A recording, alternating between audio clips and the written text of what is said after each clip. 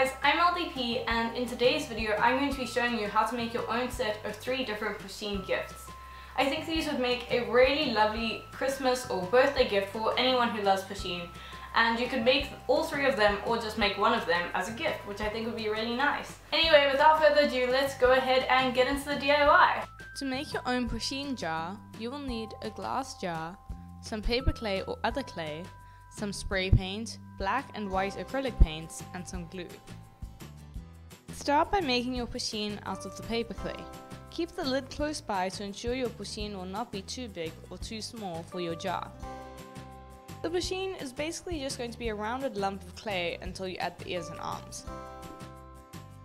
Add two little triangular pieces of clay as ears, attaching them with a bit of water and smoothing the attached area with a toothpick and your fingers.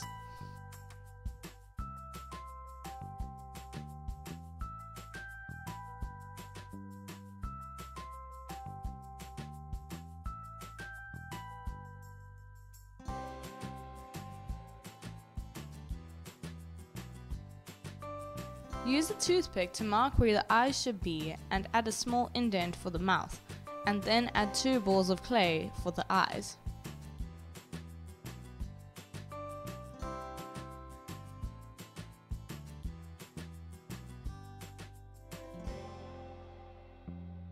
Add two arms from clay in the same way that you added the ears, and then leave your Pusheen to dry.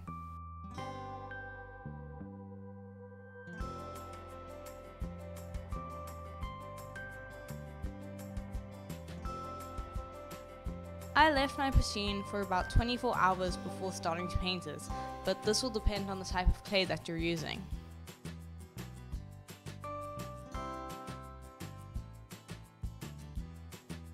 While your Pusheen dries, spray paint the lid of your jar your desired color and leave it to dry. When your Pusheen is completely dry, paint it grey. Add black for the eyes and mouth and some dark grey stripes on the head.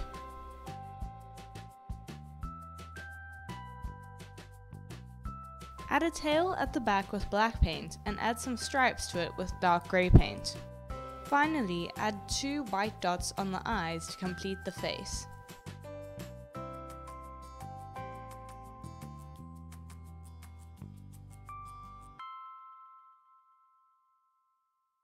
To attach your Pusheen to the lid of the jar, place the lid on the jar and glue the Pusheen into place to make sure it's facing the right direction.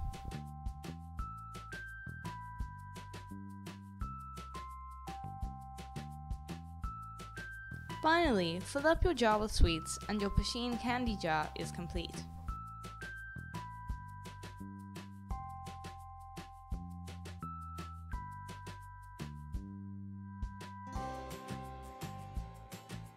To make your Pusheen mug, you'll need a plain grey mug, a ceramic liner, and some fine liners.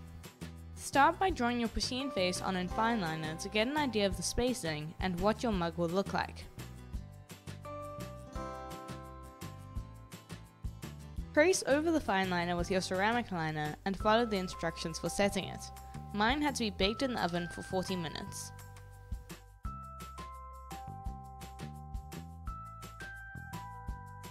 Once your liner has been set, let your mug cool and your mug is complete.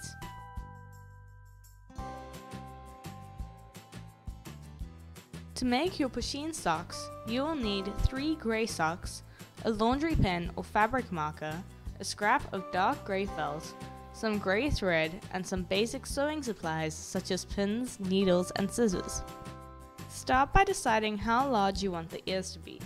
I just drew a triangle on a post-it note and cut it out to get an idea of the ear size.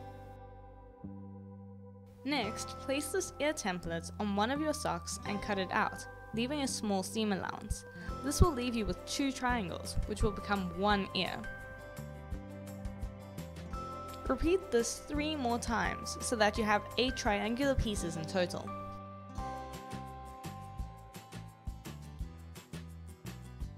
Place two triangles together with their right sides facing and pin them.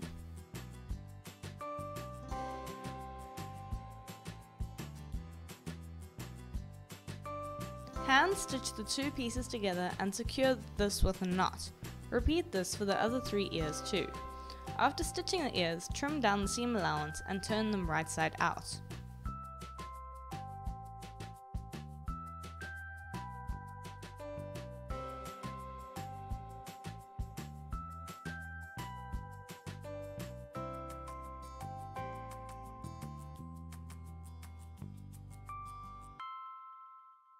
Stretch the sock and draw on the face using the fabric marker.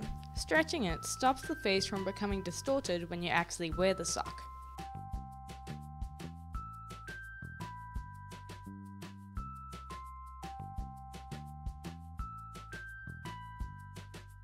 Place the ear behind the sock with the point sticking out and hand stitch it on.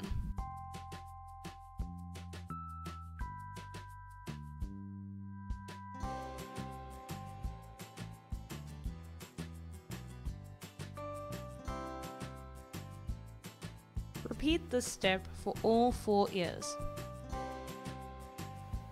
Cut three tiny stripes from the dark grey felt and stitch or glue these on, repeating this for both socks, and then your Pusheen socks are complete.